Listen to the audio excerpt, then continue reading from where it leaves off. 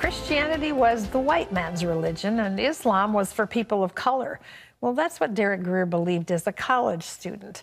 Now, 30 years later, he's leading one of the fastest growing churches in the nation. So, what changed? You're about to find out. Derek Grier, founding pastor of Grace Church, one of the fastest growing ministries in the nation, wanted to know why God seemed to stop and pay attention to some while bypassing others. You know, I have two boys. And, uh, you know, sometimes we put them in the crib when they were little and they cry. We ignore them and they'll stop crying. But then you hear that cry hmm. that you'll go through a wall to get to your child. And what I'm talking about in this book is that cry that causes God to stop everything he's doing, if you will, to make sure he tends to his child. In his book, When God Stops, Pastor Grier shares personal details from his journey of faith from Islam to Christianity. He also examines eight people in the Bible that got the Lord's undivided attention and how God also wants to stop for you. Well, Derek Grier is with us now, and we welcome you to the 700 Club. It's great to have great you. Great to be with you, Terry. When you were a teen, you were begging God to reveal himself. Some of it was just looking around like we all do at the injustice in the world sure. and some of the stuff you just can't explain. Sure. What was it that was going on in your heart and in your life then? Great question. In the 70s, you know, integration was new. Yeah. And uh, I was part of that generation that was integrating. And uh, in the, you know, I grew up in New Jersey and New York. And, um, there was tensions, and uh, it was us versus them, and uh, there was often fistfights and uh, all, all, the rest. So I, I, grew up with a dynamic, you know, that uh, they are they, we are us, and um, by the time I went to uh, college, I went to Howard University in Washington D.C. I th- those ideas had kind of been cemented, and um, by the way, I wasn't, I did not become a Muslim.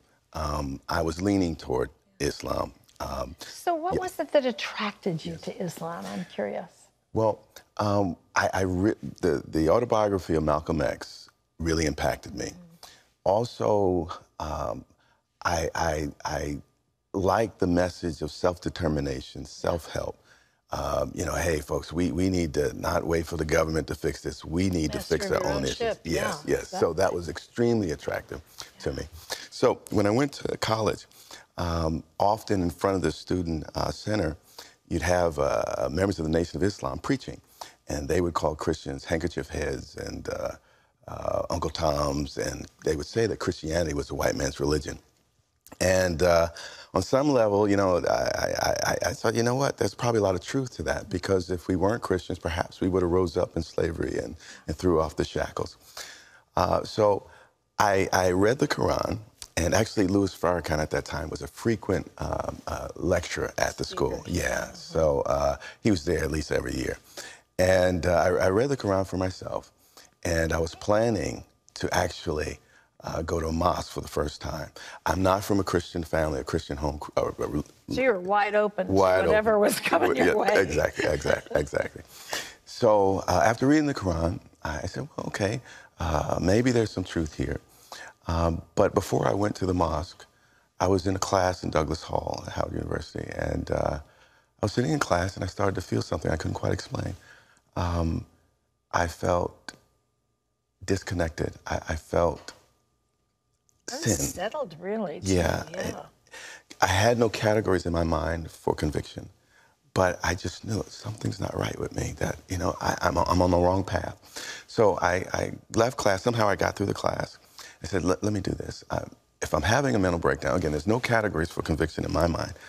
I'm going to go do this in private. So I went back to my dorm downtown and I laid in the bed, you know, just like a Friday night, say, I'll sleep this off and I'll wake up, I'll be better. Tomorrow I'll be normal. Right. So uh, it just intensified. And before long, I moved from the bed to the floor. And while I was sitting there on the floor, just feeling this, this disconnected with a sense of lostness, I think mm-hmm. that was, I, I felt lost. And again, I, I had uh, uh, friends, girlfriends, money in my pocket. Life was good. What's wrong with me? What, what's my problem? So uh, while I'm sitting there, I see this man in a gown, and all he says is, This is it. And I felt what the presence of God. Well, I was amazed at the whole experience up to this point. Um, but I felt a presence that I felt once as a child. I talk about that in the book uh, at summer camp. This is why it's important to get the gospel into kids because even if they don't respond at that moment, It there is a future point, yeah, that they could respond to. So for about a year, I studied the Gospels, and uh, Jesus just came alive from those pages. It wasn't his miracles. Um, what I think captured me about the Christ was his character.